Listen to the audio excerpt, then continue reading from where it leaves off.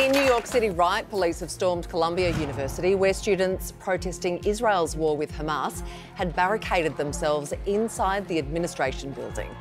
Others forced their way through a second floor window. Dozens of protesters were arrested.